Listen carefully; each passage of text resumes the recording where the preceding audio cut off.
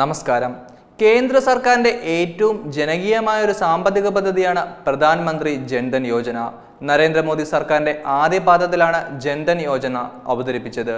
ഈ പദ്ധതിക്ക് കീഴിൽ രാജ്യത്തെ സാധാരണക്കാരായ ജനങ്ങൾക്ക് ബാങ്കിൽ ജൻധൻ അക്കൗണ്ട് ആരംഭിക്കുന്നതിനുള്ള സേവനമാണ് നൽകുന്നത്.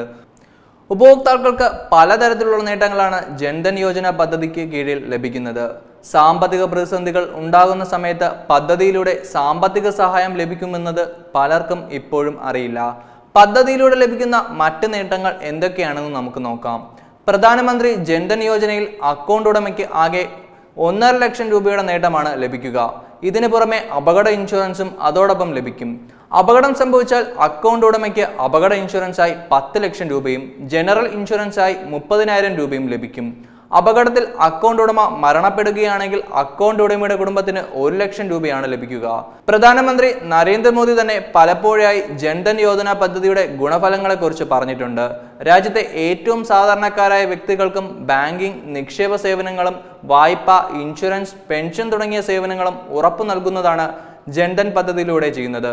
നിങ്ങളുടെ വീടിന് സമീപത്തുള്ള ഏത് ബാങ്കിന്റെ ശാഖയിൽ നിന്നും സീറോ ബാലൻസ് സേവനത്തോടെ ഈ അക്കൗണ്ട് ആരംഭിക്കാവുന്നതാണ്.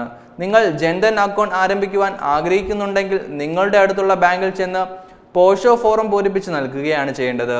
നിങ്ങളുടെ പേര് മൊബൈൽ നമ്പർ ബാങ്ക് ശാഖയുടെ പേര് അപേക്ഷകന്റെ വിലാസം നോമിനിയുടെ പേര് തൊഴിൽ വാർഷിക വരുമാനം ആശ്രിതരുടെ എണ്ണം S S L C code അല്ലെങ്കിൽ വാർഡ് നമ്പർ വില്ലേജ് കോഡ് അല്ലെങ്കിൽ ടൗൺ കോഡ് തുടങ്ങിയ എല്ലാ വിവരങ്ങളും അപേക്ഷാ ഫോറത്തിൽ കൃത്യമായി രേഖപ്പെടുത്തണം. പത്ത് വയസ്സിന് മുകളിൽ പ്രായമുള്ള ഇന്ത്യൻ പൗരനായ ഏതൊരു വ്യക്തിക്കും ജൻധൻ അക്കൗണ്ട് ആരംഭിക്കാം.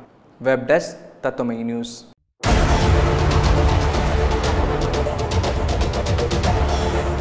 മലയാളത്തിലെ ആദ്യത്തെ ഓൺലൈൻ സംവാദവേദിയായിരുന്ന ഹോട്ട്ലൈൻ.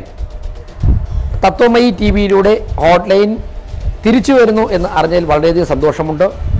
ഒരുപക്ഷെ ഇന്ന് കാണുന്ന മാധ്യമ ചർച്ചകളൊക്കെ രൂപം കൊള്ളുന്നതിന് മുൻപ് വളരെ സജീവമായി രാഷ്ട്രീയ രാഷ്ട്രീയേതര വിഷയങ്ങളിൽ സമൂഹത്തിന് വളരെ അത്യാവശ്യമുള്ള ജനങ്ങൾക്ക് കേൾക്കാൻ താല്പര്യമുള്ള വിഷയങ്ങളിൽ വളരെ വിജയകരമായി നടന്നു വന്നിരുന്ന ഒരു സംവാദവേദിയാണ് ഹോട്ട്ലൈൻ.